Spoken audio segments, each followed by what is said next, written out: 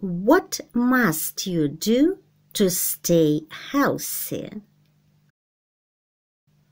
Listen to the text. When we are ill, we feel unhappy and sometimes have a high temperature. Very often, the cause of illness and disease is dirt. Dirt is full of germs. They are very, very small, but they are alive. They can get in through our nose or mouth and make us ill. They can get into our body through our skin too. We must keep our body clean.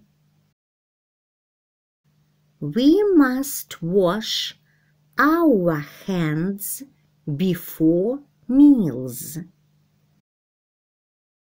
We must keep our fingernails clean.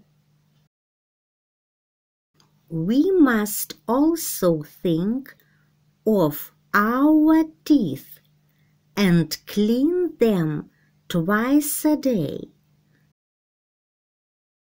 Germs can make teeth bad.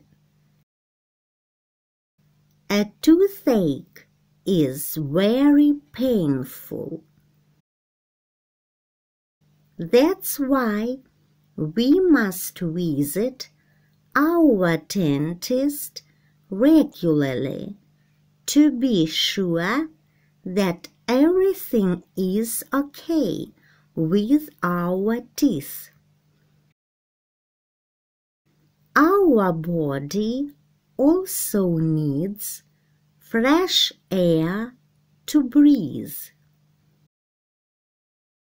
We must have plenty of clean air to stay healthy. We must do sport regularly. And we also must keep our home clean. Let's repeat one more time. When we are ill, we feel unhappy and sometimes have a high temperature. Very often, the cause of illness and disease is dirt. Dirt is full of germs. They are very, very small, but they are alive. They can get in through our nose or mouth and make us ill. They can get into our body through our skin too. We must keep our body clean. We must wash our hands before meals. We must keep our fingernails clean. We must also think of our teeth and clean them twice a day.